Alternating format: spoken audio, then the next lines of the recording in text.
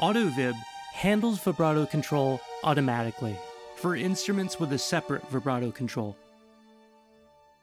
With tools to customize the range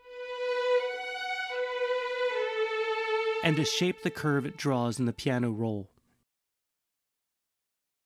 You can select progressive mode to have the vibrato continually fade up whenever you're holding a note. Using a MIDI capture tool like Grumpy Monkey's free utility NoteTaker, you can print the vibrato as a MIDI region if you want to make further tweaks. AutoVib allows you to get the most out of your instrument's vibrato control, while also being able to work faster and simplify your workflow. Okay, let's walk through the interface.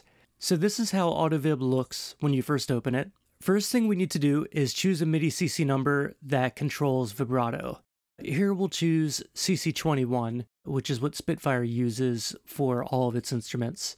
And make sure not to skip this step, where the plugin won't have any effect. So out of the box, Mod Wheel is controlling vibrato. Mod Wheel is the silver ring, and vibrato is the gold. Using these selectors on either side of the rings, we can control the bottom of the range and the top of the range. Let's set those to 0 and 127. And now the vibrato is doing exactly what the mod wheel does. But we can change the vibrato to say start halfway up. And now that remaining half is mapped across the entire mod wheel. Another thing we can control is how rapidly the vibrato moves as compared to the mod wheel. Using the vib curve, we can have vibrato start at zero, but fade up pretty fast. And this curve will be reflected in the piano roll if you were to print this out. And you could also use this to curve the opposite way. Moving on to the button on the right. Pressing this puts us in progressive mode. The vibrato becomes progressively more intense the longer you hold down any notes. And you can also have it reset each time you play a note.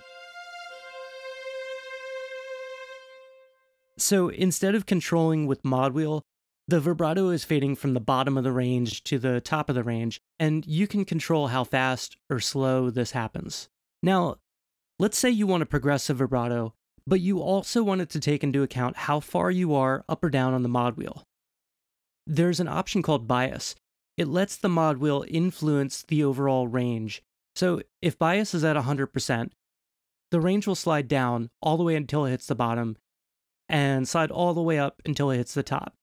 One important thing to note by default, AutoVib will only recognize keys pressed within the normal key range, and this prevents key switches from interfering with the plugin.